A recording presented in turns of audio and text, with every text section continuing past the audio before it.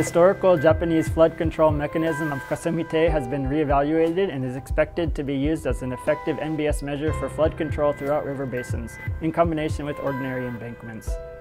Since ancient times, Japan has experienced many river floods due to its geography. With the development of farming, rice fields were created along many rivers, and consequently, residential areas were also built close to these rivers. Embankments were then constructed in an un unplanned manner to protect only essential areas.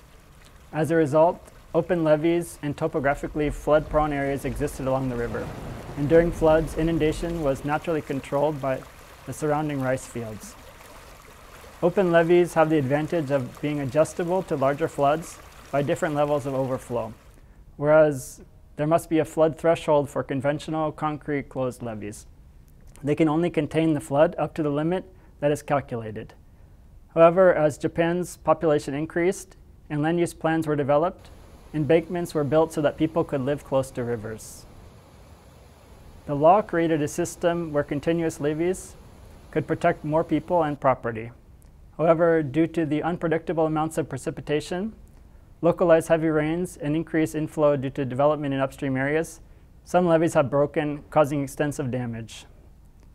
Other issues have also come to light, such as the destruction of river basin ecosystems and agricultural landscapes due to establishment of levees. Kasumitei is a flood control mechanism that historically has been developed to suit the topography and climate of Japan.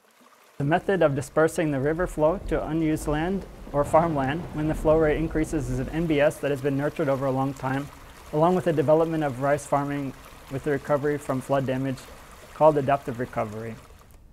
However, with modernization, many of these kasumitei have disappeared from major rivers and were replaced by gray infrastructure. So it became difficult to reconstruct kasumitei. People should recognize that there is always a possibility that continuous levees, a type of gray infrastructure, can be developed as population becomes dense with economic development. But people should also consider carefully if the levees should be connected before the construction. The kasumitei is not a complex technology. It's a simple mechanism that makes effective use of the lens topography. With gray infrastructure, it's necessary to pump the overflowed water back into the river.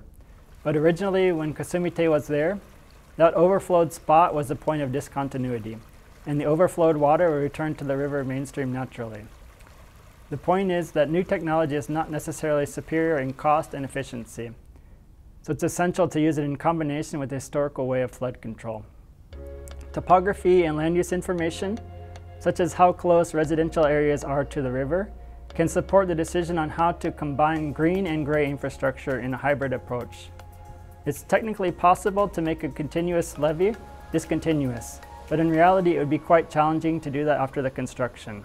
As densely populated areas increase in river basins along with economic development, the state is mandated by law to create a series of levees to protect the lives of these people.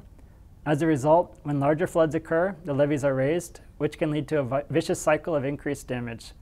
While Kasumitei can reduce massive flood damage, it might cause frequent small inundations to the area, which has legal implications and requires legal interpretation and cultural background that allows for this.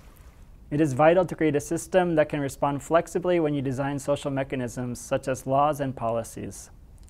It's also required to get the agreement of stakeholders, especially those living near the point where the river overflows.